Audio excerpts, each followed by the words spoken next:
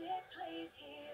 And starting January 9th, you can enjoy all the magic of Disney's family movies absolutely free. Man, this is exciting. The more Disney family movie premieres, including Pinocchio, Underdog, McQueen, McQueen, what's your show?